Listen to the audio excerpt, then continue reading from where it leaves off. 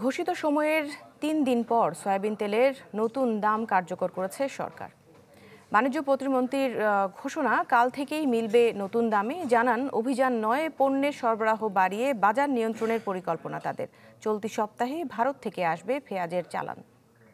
এক মিনিটে নগদ ইসলামিক অ্যাকাউন্ট খুলতে ডায়াল করুন, চার, ওয়ান সিক্স সেভেন হ্যাশ। কোনো পণ্যের শুল্ক বা বিশ্ববাজারে দাম বাড়লে রাতারাতি তার প্রভাব পড়ে দেশের বাজারে। কিন্তু কমার সময় চলে নানা টালবাহানা। ব্যবসায়ীদের সাথে বসে আলোচনা করে পয়লা মার্চ থেকে সয়াবিন তেলের দাম দশ টাকা কমানোর ঘোষণা দেওয়া হলেও সেটি এখনও কার্যকর হয়নি। এতে আশাহত সাধারণ ক্রেতারা। ঘোষণা দিয়েছে এটা হয় এক তারিখ থেকে কার্যকর হওয়ার কথা বাট আপনার কোম্পানি বলতেছে তিন চার তারিখ লাগবে আপনার তেল আসতে। একদিন দশ টাকা কামলে পরের দিন বিশ টাকা বাইরে যায়। এই তো অবস্থা। আর তো কোনো ই নাই। বাজারের স্থিতিশীলতা নাই। পঞ্চাশ টাকা বেশি দিয়েও কিনতে হয়। কিন্তু আমাদের যে যে আয়টা সে আয় তো আর পঞ্চাশ টাকা বাড়ে নাই। কিন্তু জিনিসপত্রের দাম বেড়ে গেছে।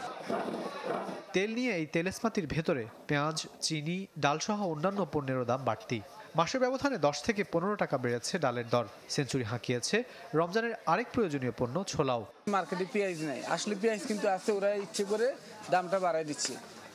কখনো দেখা গেছে একশো দশ টাকা পাইকারি আবার দেখা গেছে একশো বিশ টাকা। সেন্টিগ্রেড যারা করে তারা খালি ওঠানামার মধ্যে রাখতেছে কিন্তু মালের দাম দিন দিন খালি বাড়তেছে।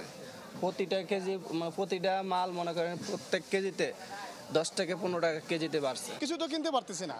সবটা জিনিসেরই দাম। সামনে রমজান আমার তো ইচ্ছা যে আমি অনেক কিছুই কিনবো কিন্তু যে টাকা নিয়ে আসি সে টাকা কিছু হচ্ছে না।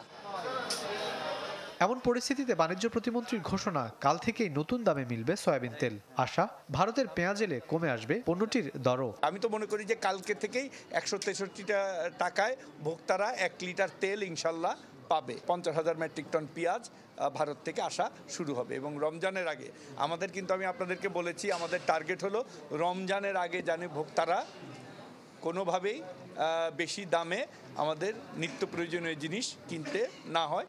অভিযান নয় পণ্যের সরবরাহ বাড়িয়ে বাজার নিয়ন্ত্রণের কথাও জানিয়েছেন বাণিজ্য প্রতিমন্ত্রী। পুলিশিং করে বাজার নিয়ন্ত্রণ করা যায় না বা বাজারে আমরা চাইও না। আমরা চাই বাজারে পণ্যের সরবরাহ ঠিক রেখে দামটা যেন যৌক্তিক পর্যায়ে থাকে। Rakib Al Jabed channel twenty Dhaka.